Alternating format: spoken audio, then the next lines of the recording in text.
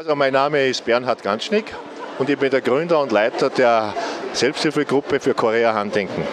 Ich habe diese Selbsthilfegruppe 2007 in Salzburg gegründet und äh, wir haben in diesen Jahren, diesen letzten zehn Jahren, doch einiges erreichen können. So haben wir zum Beispiel in der Christian Doppler Klinik äh, die Huntington Ambulanz ins Leben gerufen.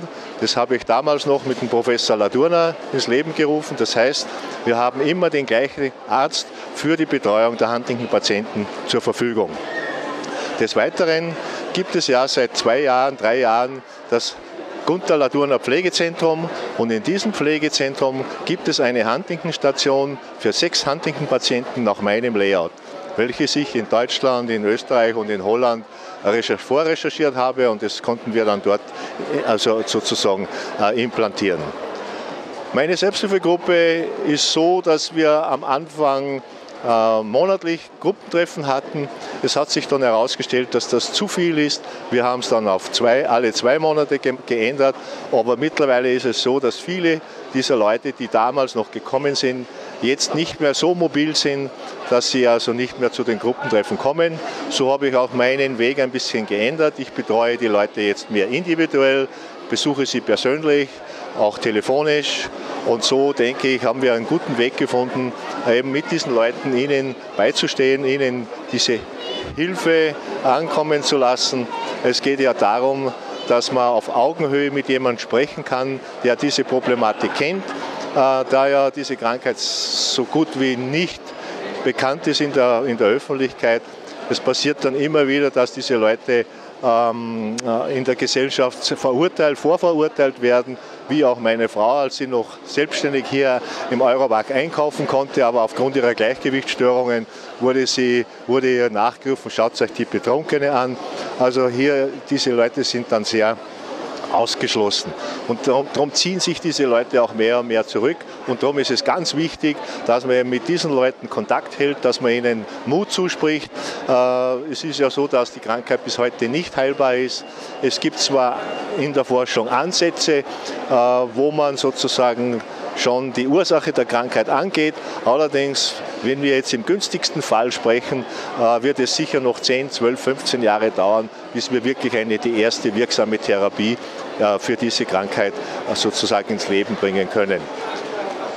Ja, ich sehe meine Prämisse in dem Ganzen darin, diesen Menschen Lebensfreude zu schenken. Weil medizinisch, ich bin kein Mediziner, aber ich denke, ich kann mit meinen Möglichkeiten, meinen bescheidenen Möglichkeiten, aber ich versuche eben Lebensfreude in das Leben dieser Menschen zu bringen.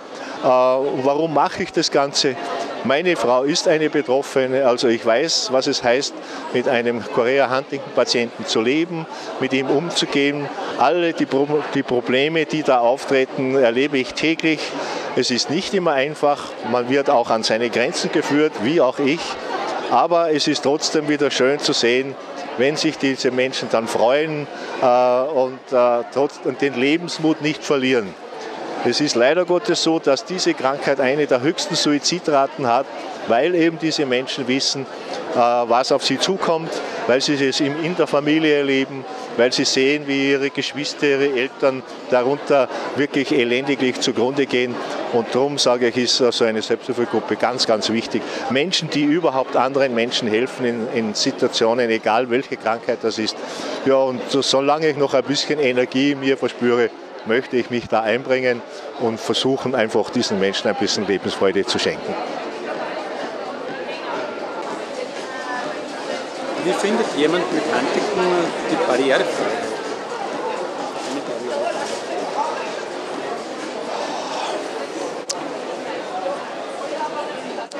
Eine gute Frage.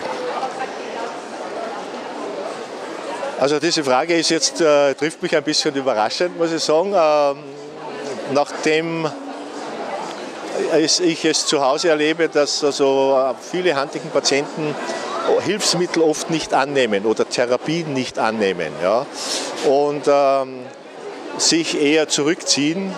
Äh, Huntington-Patienten haben für sich in sich geschlossen einen sehr strukturierten Tagesablauf und wollen nicht damit gestört werden mit irgendwelchen anderen Dingen.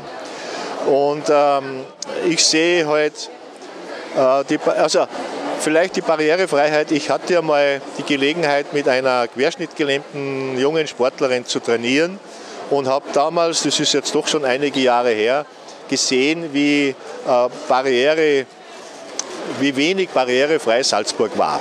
Ja, es hat sich sicher sehr viel getan in diesen letzten Jahren und ich, ich denke schon, dass das auch für Chorea Huntington Patienten eine große, große Herausforderung ist, oft über gewisse Dinge einfach, ähm, wenn sie nicht barrierefrei sind, da, darüber zu kommen, ne? weil sie einfach durch ihre Gleichgewichtsstörungen, auch durch ihre geistigen Defizite, die sie haben, da schon immer wieder auch an ihre Grenzen kommen. Aber ich würde, muss aber auch gestehen, ich habe da bis jetzt kein so ein großes Augenmerk darauf gelegt, ähm, werde es aber in Zukunft mehr tun.